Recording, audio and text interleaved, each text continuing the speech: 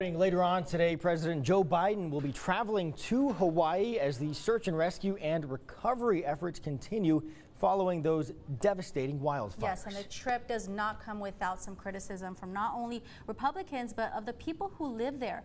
NBC's Brie Jackson has more.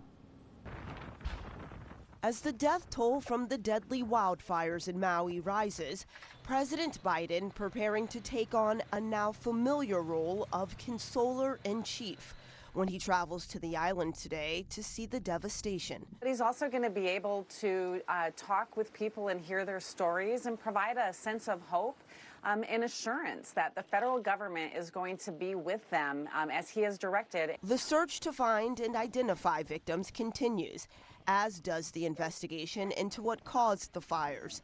The governor ordering a comprehensive review. We will get to the bottom of exactly how the fire started, how our emergency procedures and protocols need to be strengthened, and how we can improve our defenses to protect us in the future.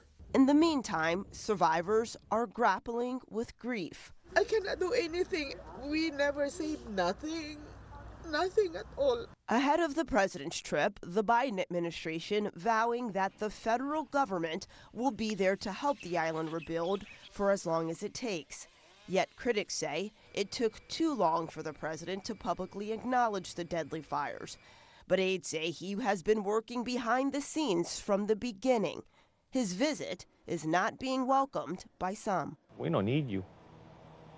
Don't come here. Stay out of our way. Get rid of the red tape. An island facing a long road to recovery ahead. In Washington, Brie Jackson, NBC News.